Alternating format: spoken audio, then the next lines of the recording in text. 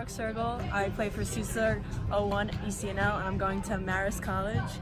Um, advice I'd give to younger SUSA players, definitely focus on your grades and never feel rushed with the recruiting process. Take your time and make the right decision.